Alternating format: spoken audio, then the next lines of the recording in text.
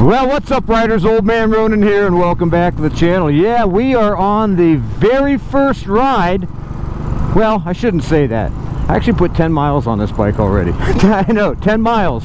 When I uh, picked it up in New York, it had 289 miles on.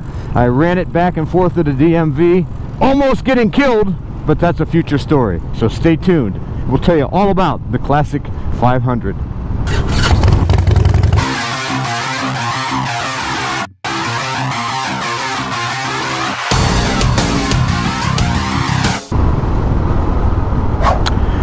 Yeah, you know, uh, guys are saying Classic 500, this is a new bike? Well, it's new to me. Uh, I actually, uh, hey, I turned off my turn signal. Hey, I actually went up to New York, uh, upstate New York, to, I, I found this bike, and, uh, you know, I've been looking for a while because, you know, everybody talks about the Classic 500 and how great a machine it is, but yet there's a lot of stuff that they don't like about it and yada, yada, yada stuff. You know, all that kind of thing.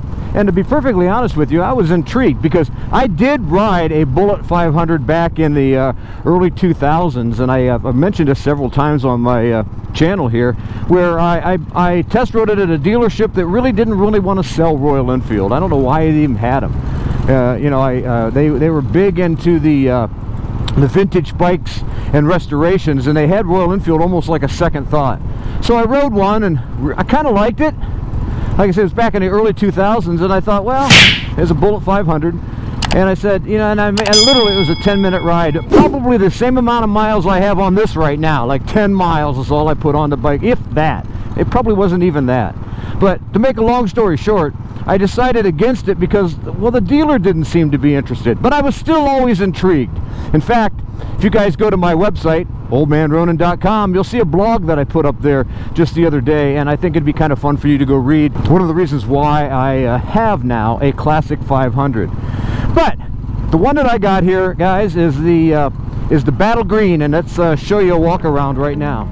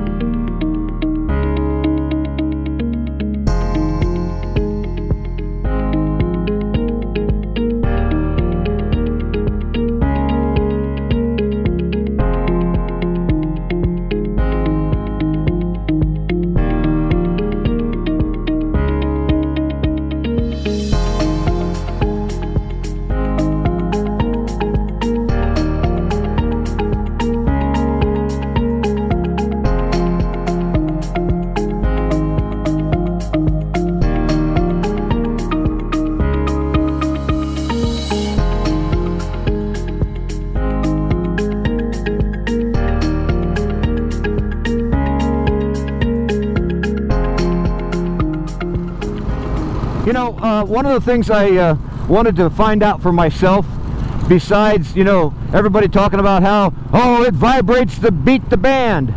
Well, I got to be honest with you. You will feel it a little bit in the bars, particularly at higher speeds. You will feel it, so far I'm saying, in the in the foot bag, not in the seat. This seat is really comfortable. Uh, it's got a unique stance to it. Well, I shouldn't say that. It fits just exactly like the classic 350. But the difference is it does have more sensations. but as a guy who's ridden Harley Davidson's old Triumphs and old Nortons, I don't see any real difference. In fact, my Harley, I was making a joke the other day. We had a bunch of folks over at the house. And I was making a joke to him the other day. I said, you jump on that iron 883 or that Sportster 1250. Now that was vibrate. Hell, even my 2001 Road King vibrates more than this. So for a guy to say that it's a deal breaker because it vibrates too much, they probably have, have a lot of time on motorcycles. Or they're so used to riding the smooth machines uh, that they uh, they uh, they don't really know what what to expect, I guess. And I, I guess that's probably probably it more than anything else. But we're out today.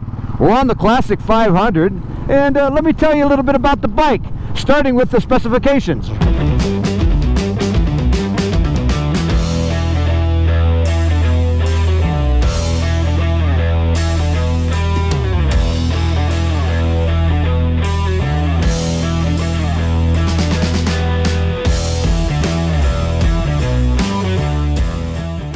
Yeah, I'll tell you. it, it, it doesn't have a lot of horsepower, doesn't have, but it has a good amount of torque. The thing handles amazingly, uh, just like the Classic and the Meteor. It's got a really upright stance to it. Uh, I mean, it it's this, this bike makes me giggle a little bit. It's more powerful, supposedly, engine size than the Classic 350, but it really doesn't have that much more oomph than what the Classic 350 does. But what it does have is freaking cool. I mean, this is you know what they say vintage cool. That's what this is. This is vintage cool. And i really get a kick out of uh, how uh, you know the reception i'm getting uh, you know for just uh, you know people seeing the uh, the posts on instagram and the posts on uh, and if you don't follow me on instagram i encourage you to but the posts on instagram and also the the the website. Yeah. People say it's a great idea for you to have that motorcycle. Huh well we got a guy here stuck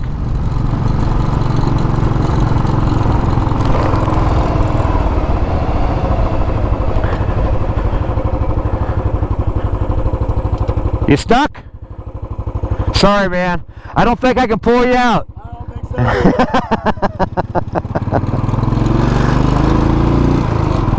Gotta ask anyway.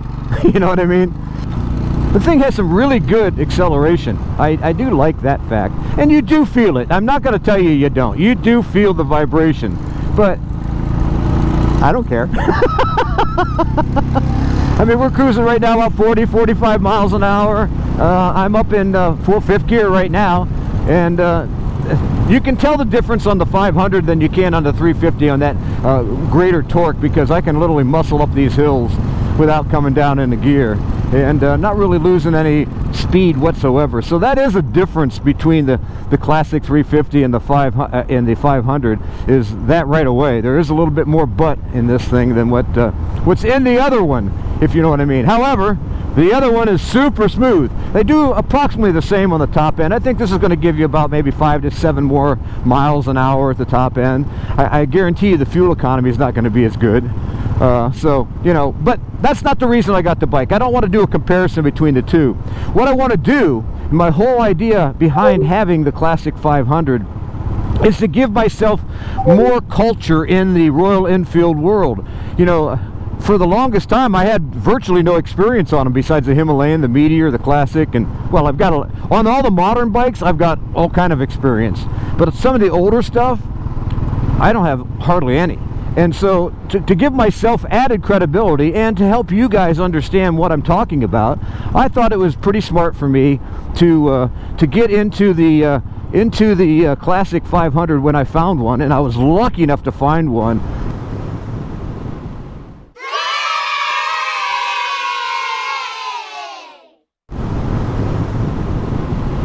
Huh. We're going to take this on one of my favorite little roads close to me. So here we go. This is a curvy road. It does have a little oomph when you shift gears, so you got to get used to that. There's a little bit of a jolt, if you know what I mean. But that's okay. Uh, she handles nice. She handles a lot lighter than what, uh, well, the engine size, for example. Well, it feels a lot like the Classic. I mean, the Classic 350 feels an awful lot like this, minus the vibrations. But it's not that bad, guys. I'm telling you. It's not that bad. And she does scoot down the road a little bit. This is a fun-ass bike, man. I'm telling you. And I'm, I'm, taking you basically on the same roads that I always do on all my motorcycle tests, except for gravel. And I eventually will take this bike on gravel. But today, this is my, it is literally like an initial ride like I do on uh, all the other motorcycles. And you guys are going to see me on a KLR here in the next couple weeks and it's a fun bike as well too. I've already ridden it a couple times. But uh, this video I wanted to bring out today just to show you because people have been asking for it. I've had the bike about oh three four weeks now. And uh, this is really the first real big ride I don't say big ride the big the ride that I've done because number one thing I did I had to change the oil I had to make sure the gas was okay. This bike sat for a long time. I mean it is 10 years old literally 10 years old right now. And so we wanted to make sure everything was copacetic. But so far let me tell you what I'm feeling. Right now I'm cruising right at right almost at 50 miles an hour and I'm not getting any vibration at all. The only time I'm getting any vibration is when I'm jumping up into the uh, RPMs a little heavier I do know that the brakes will lock up. No question about that. And the reason why I say that well we're gonna save that for the end of the video. You naughty, naughty. You teasing me, you naughty, naughty. but when you when you throttle up pretty strong you get a little bit of a, little bit of buzz. But when you're cruising there in let's say fifth gear at 50 miles an hour nah nothing man. We'll get up a little faster here around the corner when we get on a, more of a state route. This is a definitely a back back route if you know what I mean. Ah, it's cold today. I started this morning at 45 degrees. Again. Man I'll tell you what it's been hovering between 45 and uh, and we're supposed to get some frost in the next couple days which is not making me very happy but it'll make the leaves beautiful. They're just now starting to give a little bit of color you can see up there in the uh, on the side of the hills there which means that this fall is going to be beautiful as far as riding. And we're going to take you with us when we go I'm seeing my camera shaking off a lot. That does tell you something about the vibration in the handlebars. But I don't get it out here on the uh, the ends, and I think the bar eight uh, the bar end weights make a lot of difference. I think it does handle just a little bit different than what the classic 350 does. I, you know, when you have a modern style bike like the classic 350 with that J series engine, which is without a doubt my favorite single ever built, I, I really truly mean that. Uh, it, it it it it spoils you now this bike here, does it do well? Oh yeah, I mean it's doing really well. I'm I'm gonna have a lot of fun on this motorcycle. I can feel it already because I've got a I got a goofy grin on my face ever since I picked the bike up, even before I really rode it a lot. And uh, well, we've got a, what 307 miles on it, or six miles, seven six miles. So yeah, we uh, we're going a long way already. Stay tuned, little motorcycle. You've got lots more come but you know I, I'm not getting enough shake in the mirrors to make it uh, you know unbearable. So I mean I don't like I said I think a lot of times when guys complain about vibration on motorcycles is that they I don't really think they have a tremendous amount of experience riding older motorcycles and I think that's what it is. See I grew up on this kind of stuff and so for me it's it's not it's not even close to being a factor. Ooh that tree fell down. That would be bad it's I mean it's not really not close to me being a factor whatsoever. I mean I, you know that's just man you guys ridden uh, some of the old Harleys? Yeah this is nothing. I'm not kidding. And maybe that's why I'm a little spoiled about this stuff because I've ridden you know I've been riding motorcycles on the road for 50 years now. I know. I'm old man Ronin. And uh, I'll tell you that it that aspect of it that experience level gives me the ability to tell you exactly how these things you know it's it's not a big deal. You know, if so, if you see some uh, some of the older 500s out there, pick one up and go for a test ride. And if it bugs you, realize you're a newbie. Go! I'm just teasing. Not real. I just want to tell everybody thank you very much for making the Maxx Eyewear Sunglass giveaway such an important part of the Old Man Ronin YouTube channel here. Guys, we had a marvelous, marvelous uh, response from you guys this uh, this uh, September. And speaking of which, this final winner is.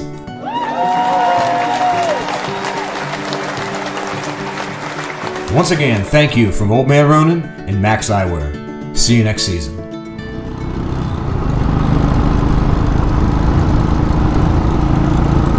Oh man, it's smooth. No wonder these bikes are so popular overseas.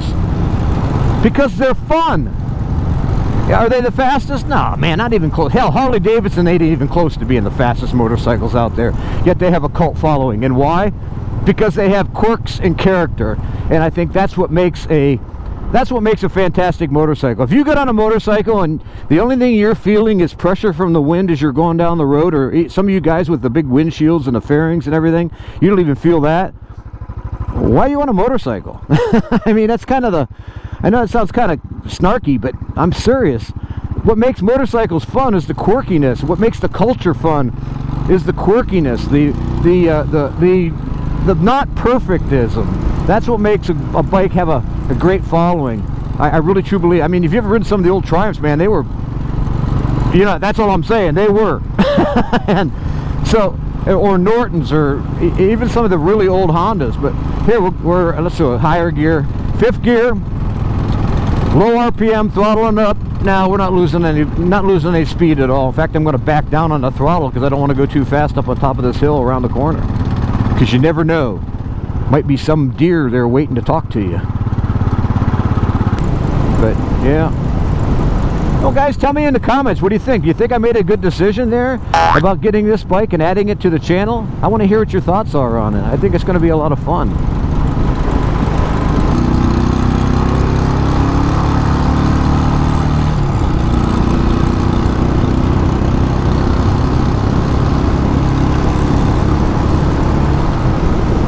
Yeah, I'm not going to say up to 60 miles an hour, no issue whatsoever. We'll take it on the highway in a future video. We'll do that. But I want to show you something here, guys. What happened to me here about, uh, well, when I took it to get the, uh, the bike inspected and get the title for it.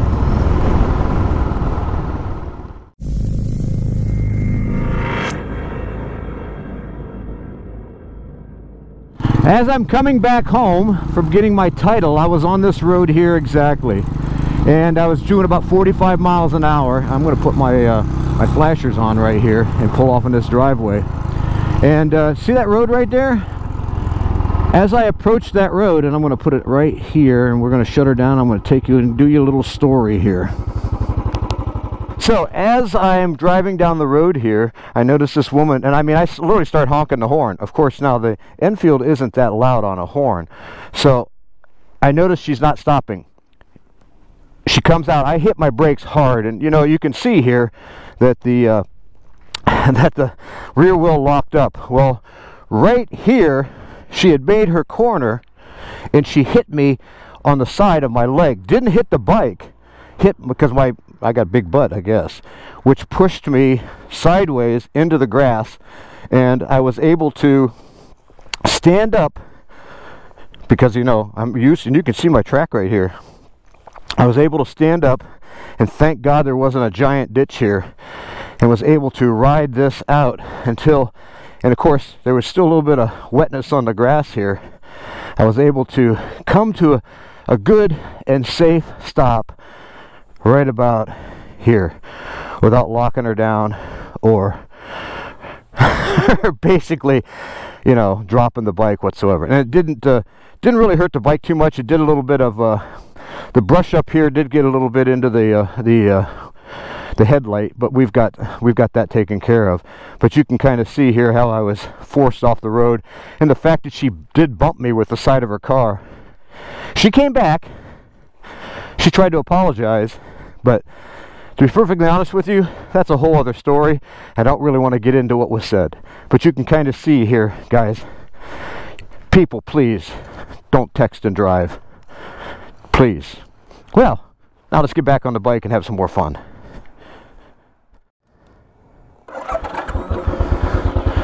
Here we go.